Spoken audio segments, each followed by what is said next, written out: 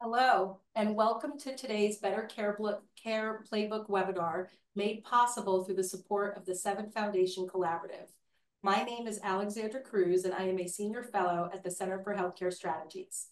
Today, we are discussing the need for state policymakers to understand Medicare to be able to advance Medicare and Medicaid integration, examining both state and enrollee perspectives on this important topic. On the next slide, we'll go through some logistics. To eliminate background noise, audio lines are being muted during today's event. However, we do want to hear from you. There will be a Q&A session towards the end of the webinar. You may um, also submit a question anytime by clicking the Q&A icon located at the bottom of your screen. Also, today's event will be recorded and shared publicly on the bettercareplaybook.org website.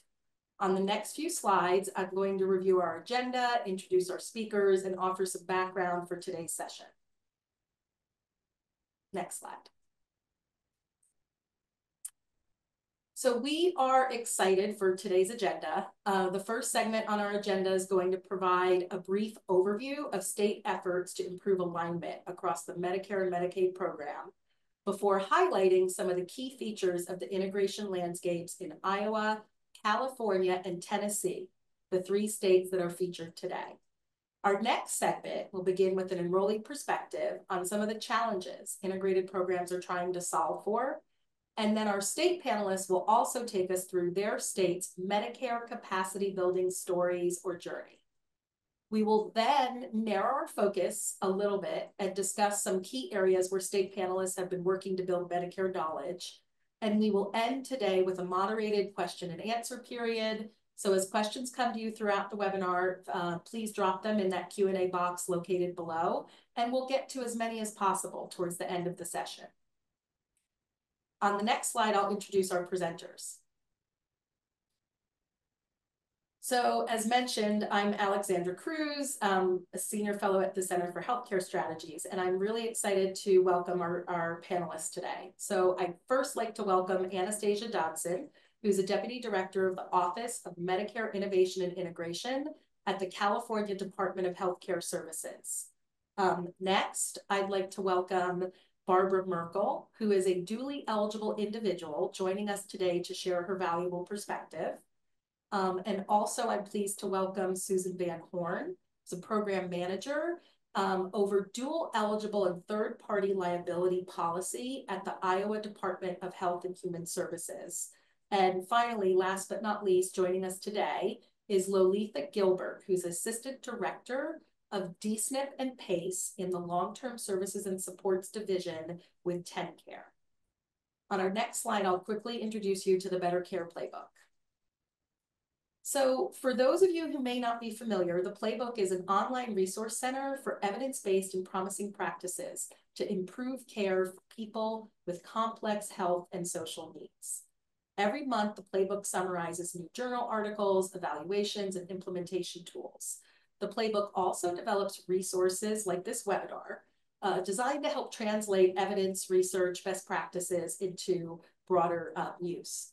You can explore the playbook at the bettercareplaybook.org website.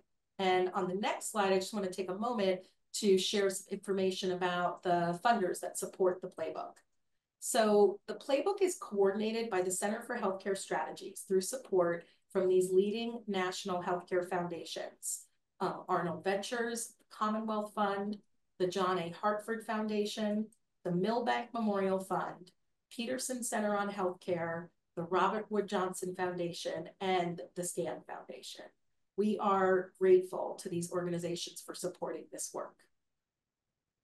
Now I'm going to take a moment and introduce CHCS's Medicare Academy initiative that each of our state speakers um, joining us today actually participated in.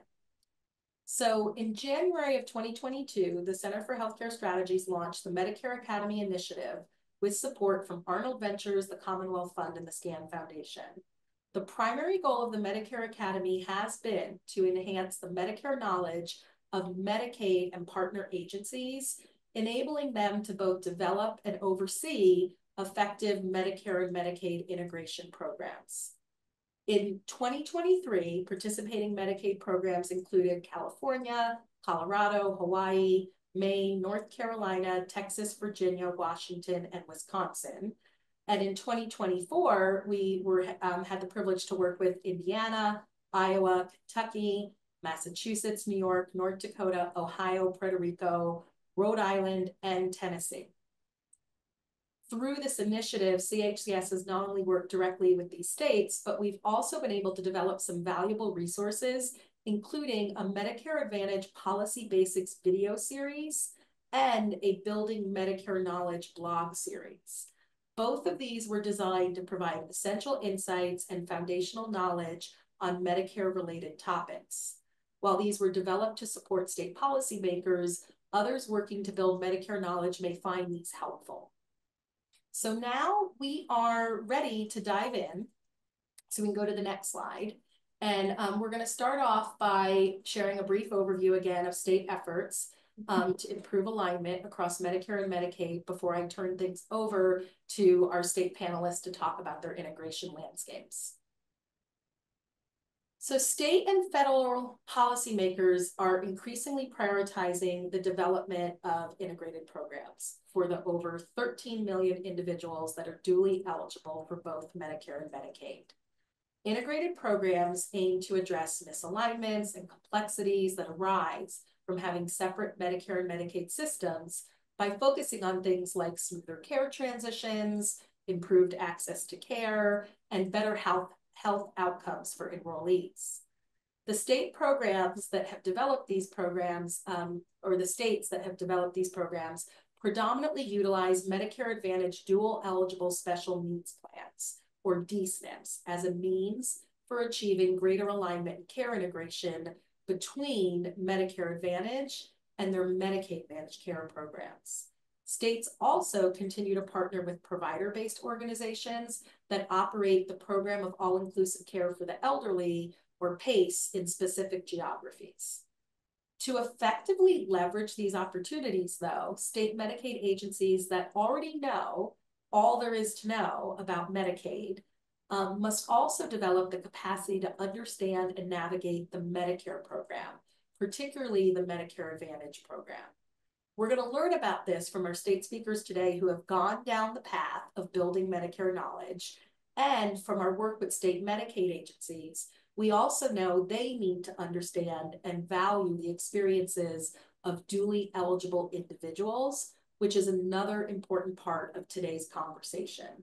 Um, I'm really excited to hear from our speakers today. So I'm going to go ahead and turn things over to Lolita, Anastasia, and Susan, who are going to present brief overviews of their integration landscapes. And Nancy's dropping a resource into the chat for those who might be new to the terminology that we'll be covering today. So thanks and welcome, Lolita. Good morning. I'm Lolita Gilbert. Um, I uh, oversee our DSNP program in the state of Tennessee. In Tennessee, um, DSNP is under the TennCare Bureau. TennCare Bureau oversees and administers the Medicaid program. Um, so under TennCare, again, um, our LTSS Long-Term Services and Supports Division um, houses our DSNP program um, as one of many programs that we have. Um, our landscape landscape with DSNP includes six plans. Um, that includes three of which that have our fully integrated DSNPs. Um, they have the Medicaid managed care contracts in addition to um, the, the DSNP plan. So they are our aligned plans. We also have three, what we call coordination only plans that only administer the DSNP Medicare services. Um, in Tennessee, we are increasingly um, utilizing the additional state authority that is afforded to us to um, provide services to the DSNP population. Um, our focus has been in the past to increase enrollment for our fully integrated dual eligible special needs plans because we know that is the best benefit for dual recipients and the best benefit for the state overall. Um, in the past, we have uh, utilized that authority to limit the enrollment for the FIDE SNP program So individuals who received our choices uh, benefit or who were enrolled in the choices program were the only ones who were eligible to enroll in our FIDE program. So moving forward, beginning January 1st, 2026, we will open that FIDE enrollment um, to include all fully benefit dual eligible individuals so that we can provide those fully integrated and coordinated services to as many members as we possibly can. Next slide. So um, TennCare, again, the our work is led uh, by myself, who's the assistant director. Um, I report to our director of dual eligible operations and initiatives. Um, the director also oversees our main program under LTSS, which is Choices. And together we serve our duals population. Um, in the beginning, when we first started looking at the work and looking at how we would expand that FIDE population, which again is the main priority for the state of Tennessee, we wanted to conduct an analysis to determine where the duals were in all of our programs under LTSS. Um, so we completed an analysis of every single program. And what we found was that there was a large number of duals that were enrolled in all of our programs. So that information really led us to really understand that the work did not need to be limited, but we needed to expand the work across TennCare in all of the divisions and all of the individuals who served the duals population. Um, some of you are probably familiar um, in your state as well that the knowledge around the duals is very limited because of that Medicare knowledge um, that, that you need to have to really administer the program. So a lot of individuals that touch the duals population may not be familiar with DSNP and know all the benefits um, of the program. So our main initiative was to connect with all of the program leads, um, individuals who were on our quality team, who received uh, reporting and led um, um, assessments like NCIAD, um, those who touched um, the social determinants of health reporting um, in, in, in every area under TennCare, if it was behavior health, fiscal, data governance, all areas needed to be um, educated on the duals population so that they understood the significance of the program and how we could better serve the duals that were in the state of Tennessee. So once we completed that analysis, um, we then developed a training. Um, and a lot of that came from some of the uh, work that we received while we attended the Medicare Academy, um, some of the um, resources that we received uh, participating in some of the other um, webinars that we attended. But we developed a training and one by one, uh, we have educated all the areas that internally touch um, the DSNP program. Again, if it's quality, behavior, health, fiscal, data. so so I think now we have um, a lot of individuals who know probably more than they wanted to know, um, but they have a lot of uh, uh, more knowledge around DSNP. Um, so now our focus is extending that training to our external partners. Next slide.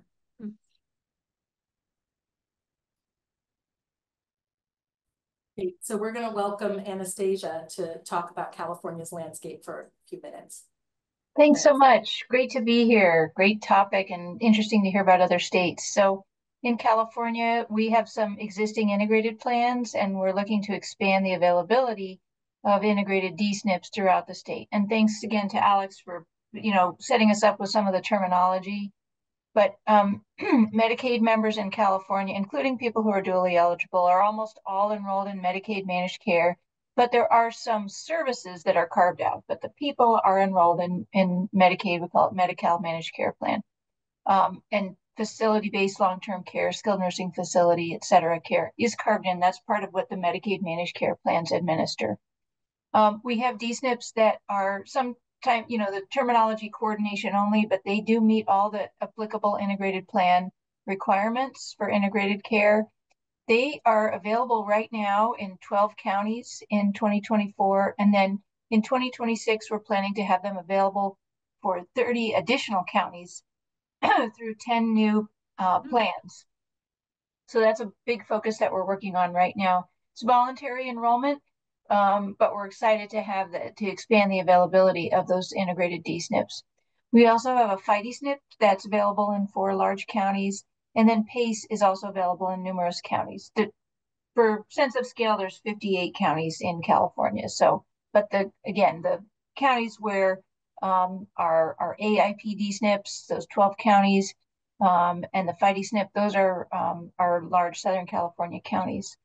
So as far as resources at the Department of Healthcare Services, which is where I work, that's the um, state Medicaid agency, um, there's a small team, the Office of Medicare Innovation and Integration, that works on um, alignment um, integration policy for Medicare and Medicaid. Uh, but there are many teams throughout the department, throughout DHCS, that are engaged in integration activities and understanding Medicare. So third party liability, of course, um, our data team, the managed care um, policy and contracting team, our um, finance team, pharmacy, dental, and, and other benefit teams. So, um, but what we try to do in the um, Office of Medicare Innovation and Integration is to, you know, connect the dots. We're working on a um, Part A buy-in uh, process. We're, we're, we're changing a policy there and we're seeing, okay, we need to make sure everybody internal and external knows what's going on. So we're supporting that, but we have a good, good team of experts on various topics. So I think that's it for my uh, three minutes, Alex. We'll go to the next person. Yeah, absolutely perfect. Thank you for the overview. And now Susan is going to join us to talk about Iowa for a minute. Good morning. Uh, once again, my name is Susan Van Horn, and I work with the State of Iowa Medicaid program. I'm housed in the Bureau of Quality, Innovation, and Medical Policy. I've been with the agency since January 2023 as a policy program manager for dual eligibles and third-party liability. Prior to joining Iowa Medicaid, I bring 20 plus years of public health and hands-on clinical experience. And I'm happy to join you today to discuss Iowa's journey into into the world of Medicare and Medicaid integration. So our integration focus for Iowa, our overarching focus in the last 12 months has been to map out both our current and future contracting opportunities with our D-SNPs. Our mapping efforts have ultimately led us to kind of a multi-phase approach that promotes both aligned contracts and enrollment. Um, to give you a little uh, landscape highlight, uh, Iowa's current landscape, Iowa has a Medicaid fee for service program and then also has three Medicaid MCOs that cover both behavioral health services and long-term services and supports. At the end of state fiscal year 2024, Iowa had a total of enrollment of just over 700,000 total members and about 35,000 members enrolled in a D-SNP plan. And uh, Iowa also has about has 99 counties. Um, our D-SNP plans cover the majority, each plan covers the majority of the 99 counties. So the contracting strategy for our state Medicaid agency contracts or SMACs with D-SNPs is evolving. Our three MCOs are currently on a different contracting cycle. One of the MCOs was reprocured this year to start a new contract on 7-1 of 2025. And Iowa plans to reprocure the other two MCO contracts in 2026 for an anticipated 7-1 2027 start. This will align our three MCOs on the same contract cycle with an anticipated contract end date of initial end date of 2031. This is one of the key aspects of our integration landscape that has influenced our approach to lead a more phased integration plan. For our D-SNPs then, for calendar year 2025, Iowa will hold SMACs with five D-SNPs. Then for calendar year 2026, we plan to have one fully integrated D-SNP operating with exclusively aligned enrollment. And then for calendar year 2027, we plan to have all three of our MCOs operating D-SNPs with an exclusively aligned enrollment. Next, I'll discuss some of the resource investments or strategies that have supported our efforts. If you go to the next slide. So uh, my role is a new role. It's a policy manager role. The focus of this position has been to develop and offer subject matter expertise It's been responsible for identifying Medicare and Medicaid, Medicaid integration options. And because this role is housed within the Quality Innovation and Medical Policy Bureau, I'm able to work closely with the other policy managers for areas such as pharmacy, DME, maternal health, dental, behavioral health, and look at integration options and impacts. The one of our resources has been to look at uh, to establish dedicated points of contacts. We've spent the last 12 months really trying to team build by establishing points of contacts and defining roles and requirements for those contacts. We focus the work of the new point of contacts in an eligibility division, division which has actually been separated from Medicaid. Um, has led to a little bit of siloing that we're trying to cross that bridge of. We have a Bureau of Contracting that's um, slowly becoming more involved in the development of the SMAC contracts. We've also on onboarded the three uh, contract managers that manage our MCO contracts to help uh, start looking at SMAC oversight. And we're also developed contract requirements for the recently procured Medicaid contracts for the MCOs. Uh, the Medicaid contracts for our quality improvement organization, QILM program integrity service vendor teams that specifically identifies a SME with Medicare knowledge in those two contracts. So we're looking to build up our outside resources as well. Uh, we're also focusing on learning from stakeholders with relevant experience. Our current SMAC vendors have been a great source of information. We're working on developing a regular cadence of meetings with our SMAC contract vendors, our state health insurance assistant program, we're starting to meet with our IT vendor to look at crossover and enrollment information. And then some of our planned upcoming activities include reaching out to LTSS divisions, the Division of Aging, and behavioral staff internally to help us identify other professional organizations and member groups that we could reach out to. Thank you. Next slide. So um, thank you uh, to each of the state panelists for giving us a little bit of background on your landscapes, your resources, kind of what um, has led yours, guiding your work to build capacity um, and understand Medicare. What we'd like to do now is welcome, um, as we kick off our next segment on enrollee and state perspectives on building Medicare capacity, is welcome Barbara Merkel um, to join us and share her thoughts. Um, we want to talk a little bit about the enrollee perspective because for um, all of us, I think a critically important area for capacity building among plans, providers, and policymakers is being able to understand things from an enrollee perspective. So we're really lucky to have Barbara joining us to share her experience navigating her own care needs as a dually eligible individual. Uh, Barbara, I was hoping, I know you're um, off mute. Don't know if you're able to come off camera. That's perfect. That's lovely. Yep. Um, great to see you. Um, I was hoping you could tell us a little bit about whether it's been hard or challenging for you to get the care that you need when some of it's covered by Medicare and some by Medi-Cal, which is the name used for California's Medicaid program. For example, have you encountered challenges trying to find providers. Um, would love to get some thoughts from you to help our audience understand things a bit better.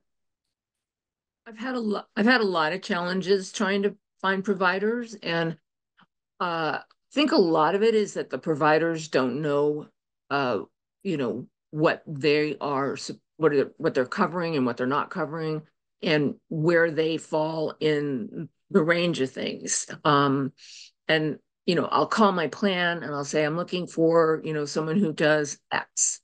And, you know, I get a list of like 32 people. And then I start calling all these people. And then the people don't even know, you know, am I Medicare? Am I Medi-Cal? You know, uh, what do I do with this person who now is telling me I'm a dual, you know, uh, she's a dual, like a dual person? Because they don't understand what that means. Um, and so I think a lot of that is not having the providers understand what's going on to begin with. Um, and also having the people at the you know plan level understand when they're presenting these things to people you know can they can they provide people who are really going to be able to to help them to do something um you know, I've uh, actually found that I use my, um, excuse me, my PCP um, and my, you know, specialist a lot. Um, and, you know, because now that I've been doing this for two years now, um, they seem to have, you know, more information, I think, than a lot of the other, um, uh, uh, you know, like any any other people. And, you know, I can't just call it blindly. Um, and uh, you know, I'll have issues with uh, you know, vendors and, you know, I had issues with a uh dentist who, you know, kept telling me that, you know, he was both and you know, I found out he wasn't, and he was charging me, you know, a lot of money every quarter. Um, and uh, you know, it took me a long time to figure that out. Um, I'm going through some other little stuff right now, equipment and things like that, you know. And uh, you know, and honestly, I mean, I'm a fighter, so I fight back. Um, you know, and I say that doesn't make any sense and you know, things like that. So um, you know, I will go back and, you know, go to the plan. I'll go to, you know, whoever I need to go to. Um, and, you know, basically yell at the, um, you know, at the, at the person that is not giving me the machine that I want or whatever and, and charging me money for it now all of a sudden out of nowhere. Um, you know, so uh, it's, it's a lot of like advocating for yourself, I think. And I don't, um, I think a lot of people uh, you know, kind of need to be brought into that kind of, you know, thought process when they're starting this because you're you're going to run into it. It's, you know, you're dealing with two different, um, you know, uh, two different medical uh, plans when you're when you're talking about, you know, you're on a plan, but there's two different, you know, they're, they're, the billing is separate, and you know, if your person doesn't know which one they're supposed to bill, then it becomes a mess. And some people do. Um, you know, my foot guy knows that, you know, he bills Medi-Cal first, I think, before he bills Medicare, you know, but then another guy bills Medicare before he, you know, does Medi-Cal. So it's, but they need to know that before they walk into the situation. And, um, it's just been you know it's been interesting to say the least in a lot of cases um but uh you know again i think it's you know all about advocating for yourself and just fighting you know and saying i'm not going to do this and i'm not going to you know just you know lay down and take this because someone out there is is going to be able to help you and you need to go back to your plan and you know fight it with your plan. So it's interesting what you're sharing because um, it's worth recognizing the significant effort that you've put into um, finding answers to challenges that you've encountered. And, you know, we've talked about this once before, but like a lot of the things that you experience have come up for other people. But do you think others in your shoes would be able to kind of do the same level of advocacy or you know i mean you, you recognize yourself as a fighter mm. which is um, incredibly important um, in life in general but welcome thoughts on that um i don't know but i think that if um if there's a way to get that across to people within their plans to say if this isn't working for you you need to you know, you need to get back to us. You need to use us as your advocates because, you know, your plans are advocates too. And they really can do a, a good job for you as far as advocating also. They're not just going to say, you know, good night, you know, I mean, although they have before in my case too, fight them too. But, um, you know, it's like you just, you, yeah. you know, they're not, there's always someone, there's, you know, you're, you have a care coordinator, you have someone in there who is gonna, you know, like figure this out um, and help you to figure it out. And you just have to keep calling and keep pushing and things like that. And yes, I know that some people don't have the kind of personality that's going to be able to do that. Um, and you know, you need to, I guess what it is, what I'm saying is that it's it's kind of has to be brought to their attention that you're allowed. And um, my plan actually has a lawyer um, that, you know, we go to and, you know, we can uh, like use the lawyer um, uh, it's legal aid and we can use the legal aid people and they, you know, they know about, you know, all the ins and outs of all the, you know, Medicare and Medi-Cal and whatever, and they can also assist us if Right. need be. You know, um, you brought up to your specialist, your PCP, like the fact that there's trusted providers as well as the role of a care coordinator, but like it's great advice for people to be thinking about. Um, particularly if there's providers and plans listening on this webinar today, right, to be thinking about how important they are in helping um, people navigate these things and the value of also, right, care coordination to support folks. So um, this is super helpful. I appreciate you weighing in on those um, important questions. I know um, we want to spend some time talking as well about um, our state panelists' experience trying to build their, their Medicare knowledge. And so they're each going to shift now um, and talk a little bit about their stories. And so Mhm. at this point, um, I'm going to go ahead and introduce our next um, state panelists. We can move to our next slide and welcome Anastasia back to talk about California's Medicare capacity building journey. Thanks, Alex, and thanks, Barbara. Really excellent points you made and w- well taken. And, you know, we definitely have room for improvement and just thank you very much. And um, sorry that it is not working as smoothly as it should, but I think we're all Mm. kind of on a journey to continue to improve um, care coordination.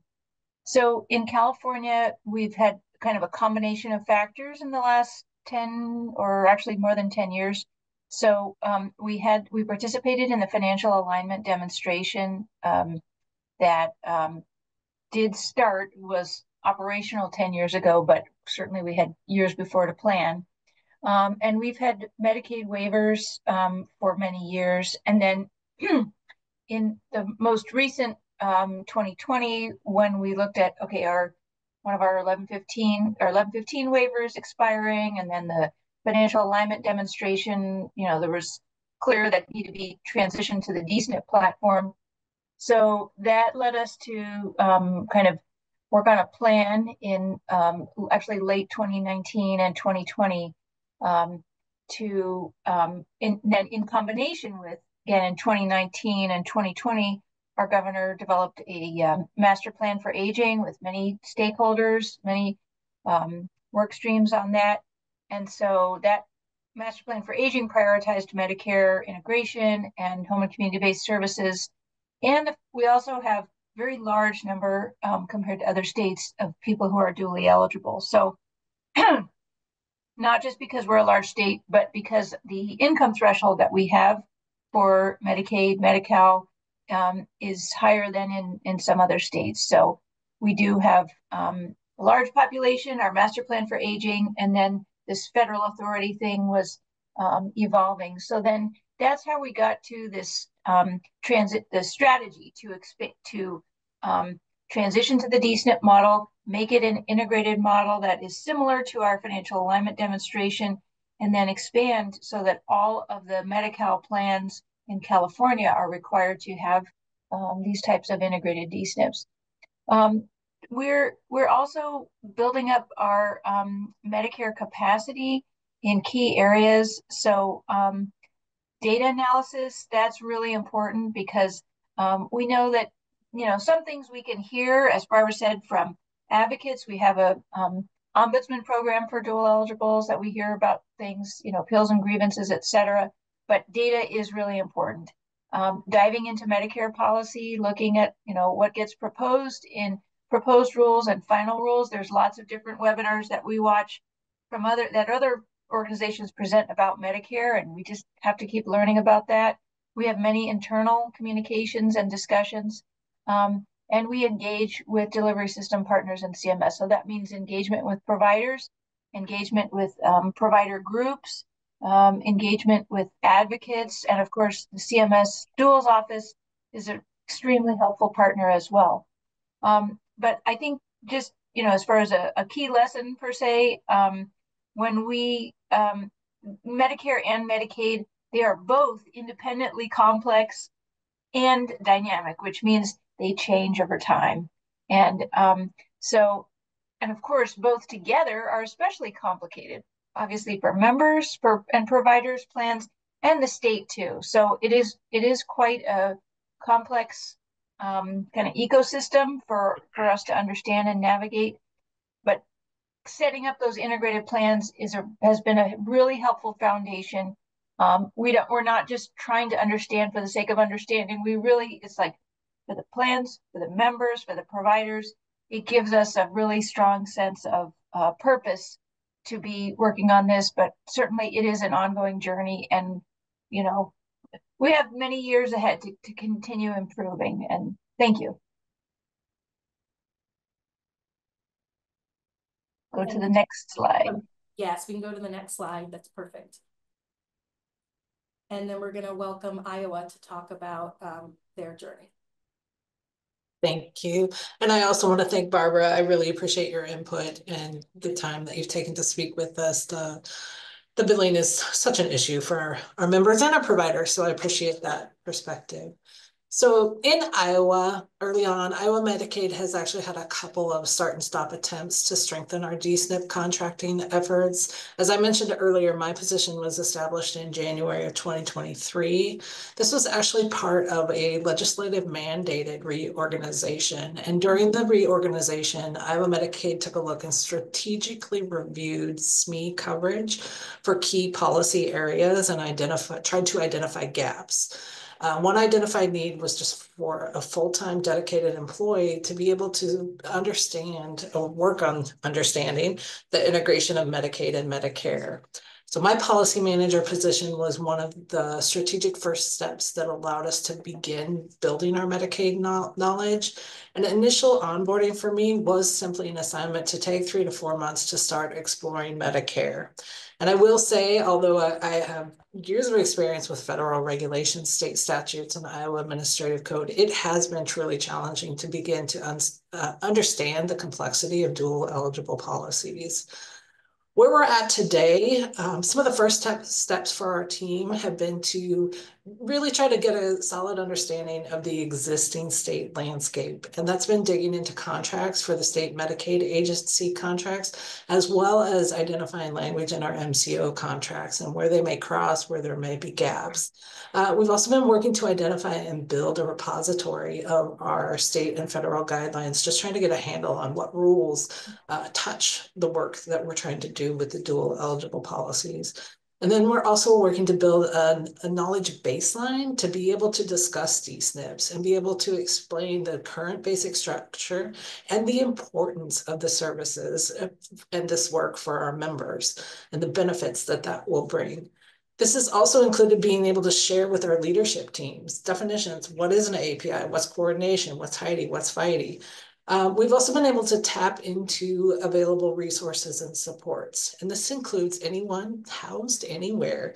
Uh, for us, these resources have included ICRC, CHCS, we were fortunate enough to attend this uh, cycle of the Medicare Academy. We've been working with COB, CMS contacts, and pretty much anyone else we could include. And we find that there are many of our team members in Iowa Medicaid, as well as in other divisions, such as our Community Access Division, who have some level of institutional knowledge about dual eligibles and the policies. And we're working to try to include these coworkers and tap into the knowledge that they have, and at least in the periphery to gain guidance and support of their knowledge. So some of the key lessons that we have discovered uh, when working with Medicare, when your daily focus is on Medicaid, can be both intimidating, frustrating, and time consuming. So far, having a person or preferably a team of dedicated staff can help both management and other team members navigate what exists and how it works or doesn't, and what our future could be and how we can really prepare to strengthen the program. Our team is all relatively new with one to three years of experience in our current roles. But we have found our knowledge and ability to assist both members and other programs has expanded exponentially with a little time and a, a little bit of dedicated time and a lot of support. That's our that's our current journey. I'll turn it over to Lolita. Thank you, Susan, and thank you, uh, Barbara, for uh, being willing to share your experience with us. It really, I think, helps to um, adjust our perspective because uh, sometimes we can get bogged down with the day to day. So thank you so much for allowing us to um, adjust and refocus. Um, so in Tennessee, um, I think we may not be unique in that um, we were kind of forced to prioritize building uh, our Medicaid, Medicare knowledge. In 2002, the individual that ran the DSNP program for years and served as our subject matter expert uh, retired. And there was the intention and the, uh, I guess we, we attempted to align uh, my position with her position. Uh, my position was created to bring on a dedicated person to then lead the DSNP work in the state. Um, in our attempt to align um, her leaving and me coming on to give us a little overlap um, wasn't successful. So her last day was my first day on the job. Um, so we immediately found ourselves in a position where we needed to get assistance uh, with someone who could help to build that Medicare piece and to help us tie in integration and determine what the that would look like moving forward in the state. Um, not too long after I came on board, we uh, received the information about the opportunity to uh, join the Medicare Academy we submitted the application and unfortunately that first year we were not selected um, but we did not let that deter us and still seeking assistance in helping us to gain knowledge. Um, so while i was reading regulations and trying to see what we could find and meeting with the staff that had assisted with the program uh, we were still looking for external opportunities for technical assistance. Um, so about a year and a half ago, we um, had in uh, had a meeting with um, Ventures and Altarum, and luckily we were granted um, technical assistance under Altarum AMS, uh, Altarum Medicare and Medicaid Services for States, and we've been working with them for about a year and a half. And that opportunity has been instrumental in our ability to gain the knowledge that we needed around Medicare and to look at the landscape for Medicaid and integrate those services in attempt to move the program forward. Um, the Altarum group um, that we had assigned to us initially included individuals that even had access on the plan side. So we were able to kind of peek into to that area as well. You know, a lot of times when you're working with the plans, you don't always know exactly what to ask or know exactly what they can or can't do due to, um, you know, a number of issues. But having someone on staff who had that extensive experience working uh, for plans um, was really instrumental in us being able to move forward and allowed us to actually connect with our plans. So um, I think a lot of times you have the perspective of um, not necessarily punitive, but us wanting to be over and always driving the work. Uh, but we were really able to adjust, and now we definitely work with our plans. Um, I can at any time pick up the phone and, and call one of our plans, and we can work through any particular situation, or if there's some type of um, perspective or innovation or some type of idea that's been proposed, we now work together um, even as we build the SMACs year to year, uh, we want to include our plans in that. And we have open discussions. And a lot of times those discussions include what um, is the state's intent behind some of the initiatives or some of the changes that we would like to make. And we we have open discussions and I think the plans know that we have built this relationship and now we can um, work together if there's something that may not be advantageous to them or could um, potentially result in a negative impact we can have those discussions and then make those adjustments. And i think that it's it's been really really insightful and inspiring that we have partners in the work um, so I think from an internal perspective, working with all of our um, internal programs and the other divisions within TennCare to know that we also have our partners, our plans that we move forward with. Um, we're really able now to build on the knowledge and now move initiatives forward within the state. Thank you. Thank you. Um, the, the time spent kind of talking about the drivers that led your agencies to spend time building Medicare capacity and some of what that work has looked like um, is really super helpful, especially kind of that broad overview. And now if we move to the next slide, what we're gonna do is shift and really talk a little bit more about um, capacity building into focus. So we're gonna turn to our state panelists and ask them to talk a little bit about um, some of the, the specific areas that they've been working to build Medicare capacity. So I'm gonna go ahead and shift um, to Susan, is gonna talk about the capacity to design and build new programs and some of Iowa's experience there. Thank you. Uh, so I think it's important to remember that the individual starting point really matters. It doesn't matter what your previous work experience may have been. It, it may not fully uh, prepare you for the complexity of the dual eligible policy and program development across the Medicaid and Medicare landscape.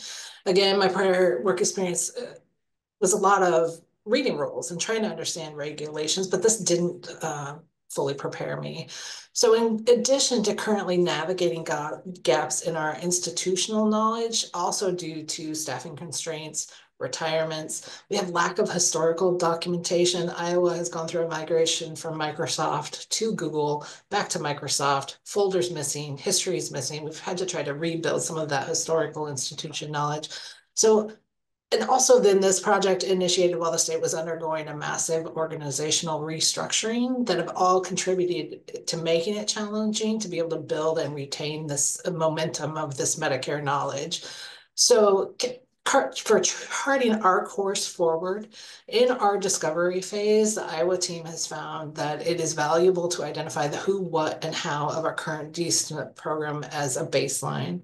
And this hmm. included designing documentation that's easily understandable and can be used for reference and discussion with stakeholders with all levels of understanding.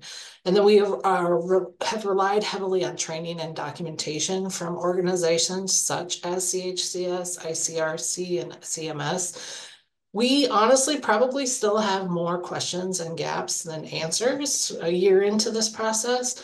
Uh, with the complexity of a, D we have a complex uh, DSNP landscape, and that includes DSNP contract vendors that are both unaligned with an MCO and also some that are aligned with an MCO. And we have members that are heavily enrolled in the non-MCO parent DSNAPs. So we have a lot of different member scenarios to consider going forward, but we want to make sure that our focus is firmly on member services, equity, and choice as our ultimate driver. As far as the nitty gritty of building capacity, the Medicaid Academy gave us an amazing opportunity to meet with states all along the uh, spectrum of program development and landscapes of different DSNP functionalities. So Iowa has also relied heavily on trainings and materials for organizations such as ICRC and CMS. And for us, a simple email to IC, uh, I, the ICRC Resource Center unlocked a valuable vault of resources. Um, building capacity for us has also really been about networking, networking with our stakeholders, net, building our team's knowledge base, and building our documentation for continuity. Cool. Um, a really important place for states that are um, kind of starting out. Um, we're going to go ahead and shift to talk on the next slide about uh, oversight, which is another really important area for states to be thinking about uh, building capacity. Would you like to jump in here, Lalitha? Would love to hear about Tennessee's experience.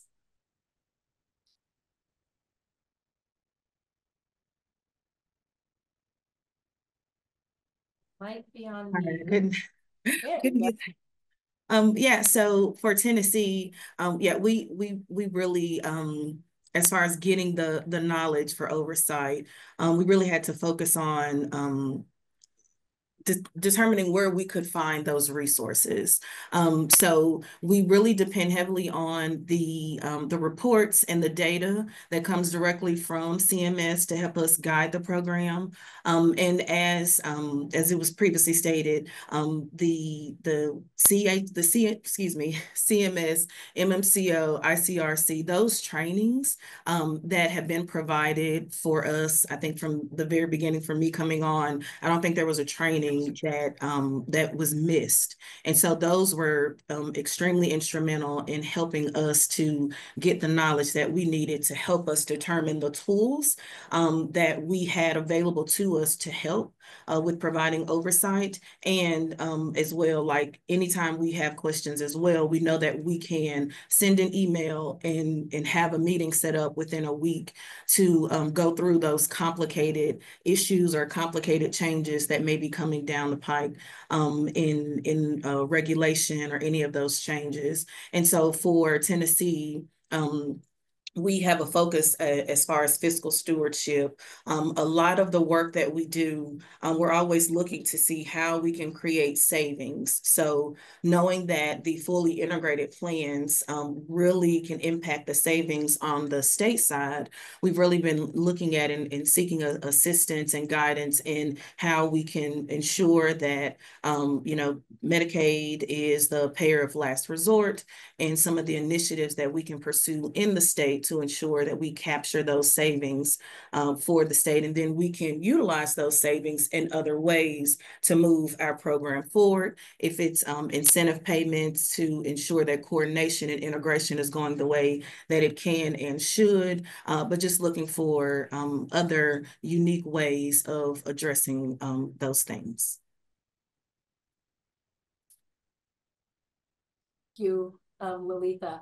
The next area we're going to cover is um, a critically important area, I think, when you think about um, dually eligible individuals and the um, what we know about um, health outcomes and disparities and health inequities that the population encounters. So um, we are going to shift to hearing from California. Anastasia is going to talk to us a little bit about um, California's perspective on thinking about building capacity to advance health equity and also, um, Anastasia, after that, you can kind of shift if you want into your next slide on thinking about how you respond to the fact that the federal Medicare landscape is always changing and evolving. So um, want to welcome Anastasia back to cover um, the next little bit of ground for us. Great, thanks, Alex. Yeah, so we have been collecting data from DSNPs stratified by race and ethnicity. It is actually a bigger task than we originally anticipated. Um, some data is missing, and um, but we're so anyway, we're looking at it and um, wanting to better understand and and um, you know thinking about future efforts, but then also thinking about what what data is um, collected by CMS. We have I'm going to go real technical DSNP only H contracts, which means we um, require the DSNPs to um, just have their contract cover California and only duals so that the data that CMS has is just for that population. And so we don't have to, we, we can do less um, kind of double asking of the plans. And so anyway, it's that's a work in progress and we're very interested in um, wanting to go through that a little more thoroughly. Um, the care coordination measures stratified by race and ethnicity, that provides an initial um, view. And again, we want to look at the CMS measures as well. Um, the last point I want to make about health equity is that workforce issues are also related to health equity as we've had discussions um, with health plans and members, et cetera. So we have workforce strategies both at the department and in other parts of the state um, agencies to address health inequities and promote culturally competent care. I mean, I, California is obviously very diverse state in many factors, but um, other states as well, I would imagine, you know, I think that's important. Next slide. Um, and so how do we keep abreast of all the federal Medicare changes? We look at the health news, digests, webinars, CMS um, proposed rules, their fact sheets. Um, certainly, you know, CHCS provides information. Um, but we do have internal meetings where we look at what's happening and how can we kind of one part of our department may have heard something and we want to connect with others. Um, engaging with the duals office and with health plans providers and and associations and trade groups because they know they're watching as well. And it's actually a good way to learn is to see you know whether it's the you know medical association or um, you know the Association of FQHCs or Association of um, IPAs or um, provider groups, they're watching. And so to listen to what are they saying is important or how are they, what comments letter are they putting in, that helps us understand. Um, and when then for internal, we have recorded trainings and slide decks and charts to help build and maintain internal knowledge. We have turnover. Um, so we just, you know, we have an internal web page. Here's all the training, you know, then we put highlights in our employee newsletters. Go look at this training and people have questions, you know, graphs. Some of these people don't want to, you know, read a novel, but just look at, you know, some key graphs that'll help. Um, and then communication channels, hearing from all of our stakeholders to know what's going on. So we do have um, frequent stakeholder meetings and you know sometimes things that we wish we weren't hearing but it's the truth so we need to know um, and we want to identify emerging issues you know accountable care organizations other other things that are going on in the market that we need to know about sometimes it's hard it's a new topic but we have to keep learning and so it's it's challenging but it's engaging you know to to know that we're helping people and it's a you know complex puzzle. We try to solve it. I'll head back to the to Alex or the next speaker. Yeah, um, I know complex and puzzle resonates um, for sure. So we're going to hear from Lolitha before we um, kind of wrap up our formal um, content sharing today. Lolitha is going to talk a little bit about the evolving federal Medicare landscape and, and what Tennessee's experience has been um, trying to kind of maintain capacity on on that front. Yeah, thank you. Um, so I think we've previously discussed about um, you know, the resources that we needed to access to to gain knowledge and to stay on top of the ever-changing landscape of DSNP. Um, so I will say for us, the participation in the Medicare Academy um, really created opportunities and gave us insight into a lot of resources that we had no idea about. Um, so there was a presentation on SDRC, the State Data Resource Center.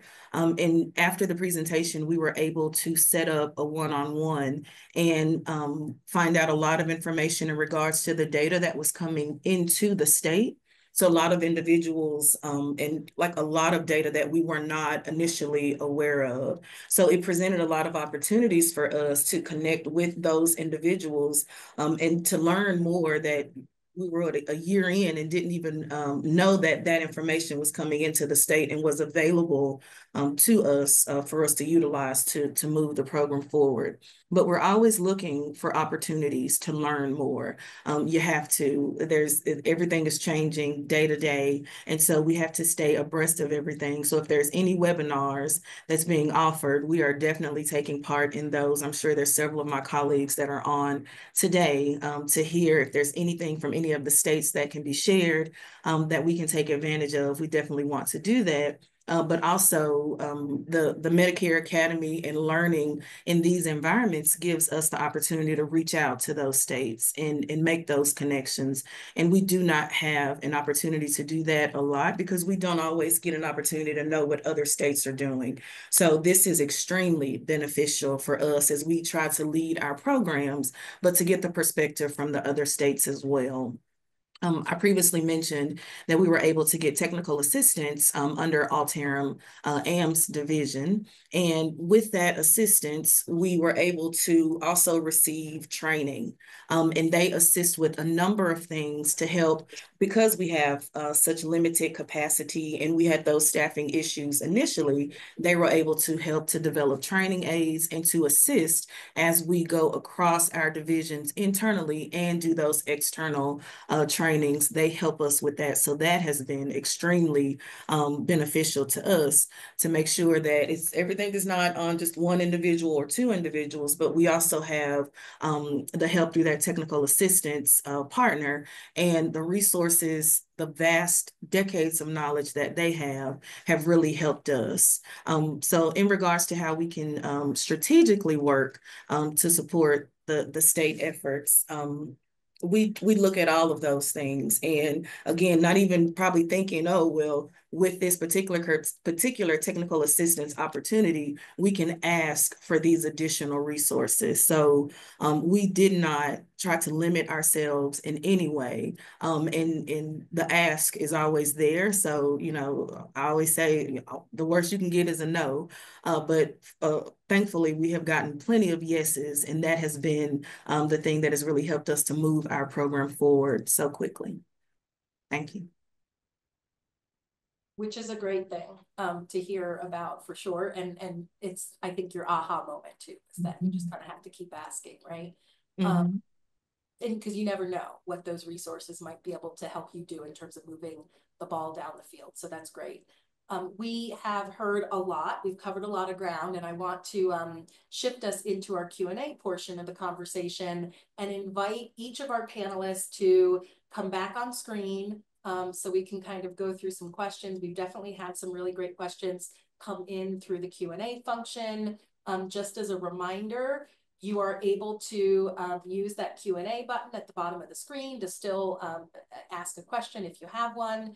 And one of the areas that um, I think um, we talked about a little bit earlier was around oversight and just thinking about how integrated programs are working.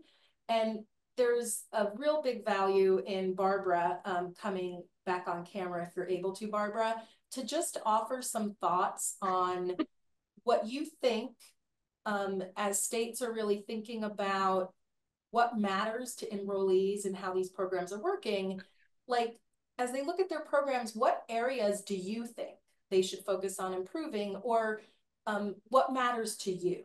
Would be great to hear a few thoughts on just a moment. Okay, well, as an enrollee, um, I really count on my plan to have information for me so when I call and I, I, you know, I, I get someone who knows what they're talking about and who can help me and lead me to the correct place. A lot of times I go, you know, in my plan, I'll like, it'll be like, oh, this is the plan and this is the Medicare group. And I'm like, well, I thought you were total dual, you know, so now I'm you know, questioning and, you know, so anyway, it starts becoming this whole thing of I have to go over here and then go over here and then go over. Anyway, so, you know, that would be helpful. Um, you know, having uh, the list of providers be accurate and to have, you know, the providers know that, you know, if they're dual, you know, what that, what that means for them. You know, are they one or the other? If you know if they are are they supposed to you know bill the one insurance versus the other insurance? Because that's apparently something that happens with the dual stuff. Um so that's you know that's another thing. I think right now um i'll bring it up because it's you know probably something that's on a lot of people's minds um who are enrollees and you know just people in general at my age and going to insurance and stuff is we don't know what's going to happen you know, are they going to take our insurance away? Are they going to, you know, it, you know, so there's a lot of fear, I guess is what I'm saying out there right now. So how to, how to calm us down um, is another thing because, you know, we're all like this, what, you know? Um, the messaging, yeah, it, it's, the messaging it's, is important. Yeah. Yeah, it's, you know, there's a lot of fear right now and, you know, it's, it's, it's directed at our age group um, and, you know, we're just going, okay, you know, well, you're my age group, but you're, you know, you want to take all my stuff away, you know, like, I don't get it. But anyway, so, you know, just to, you know, like the messaging and, and things like that. And I think I'll, another thing about messaging too, and I think we've talked about this also, is that when you're providing information to your enrollees to make sure that it's it's clear and it's concise and that they can understand it. Even if you have to send it through 14 proofreaders to make sure that it's understandable. Because I think that um, I've seen stuff come through and I've been like, what? What are they talking about? You know, and for me, that's, you know, that's like, I need that to be very crystal clear, especially if you're sending it to me you know, and I'm like, okay, why did you send this then?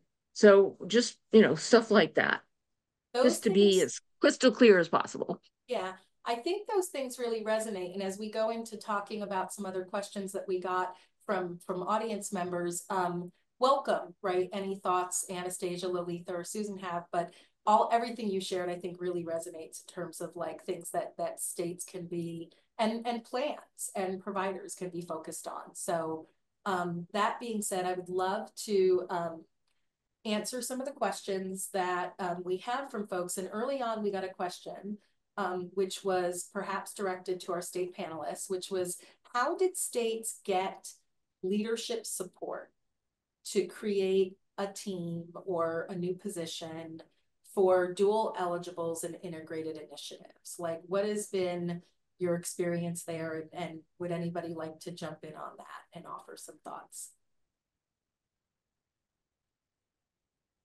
I think we we all struggle with that.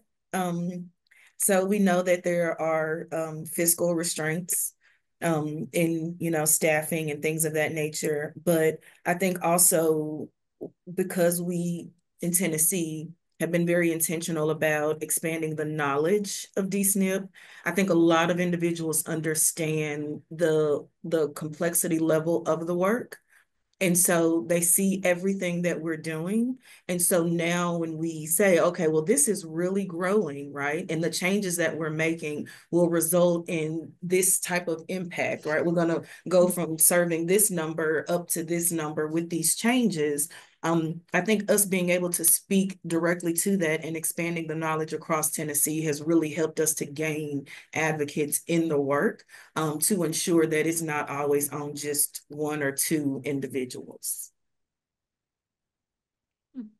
Yeah, in California, you know, the work that was done on the master plan for aging and the um, kind of just ha having to, you know, renew, et cetera, our waivers, the, the timing was good. I think we, there was always um, knowledge that we had at the state um, around duals, but right, not not a named office. But I I think I, I don't want to overstate kind of like this named office that we have because there are teams within the department that that know about duals, but um, I think what's hard is they are pulled in multiple directions. So being able to, um, you know, put, you know, say, give credit to them as well. You know, like it's good that we have a, a dedicated team, but there's so many things that are really deep that our, our dedicated duals team does not know and that we have to rely on colleagues.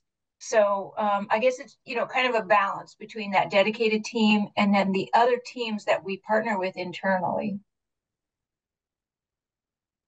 And I feel like Iowa, we're right on Tennessee's heels as far as uh, the kind of the upper leadership realizing that they just needed a, point of dedicated focus. Um, like Anastasia just said, we have so many teams in LTSS and in behavioral health that have snippets or components of duals and know maybe a small limited focus of what uh, might happen for their members in their specific areas, but we're just missing that overarching branch of having continuity through all of the programs. Um, so I think it was just an, a recogn an aha moment that there needs to be a point of contact, that this work is too big, the impact for our members is too important, they need support, members need support, and our, our vendors need support as well. Like they need to know that we are going to be a partner and, and work with them through this process. And so we're working on transparency, and I think state of Iowa just finally got to that point. Hopefully, they'll continue to support that.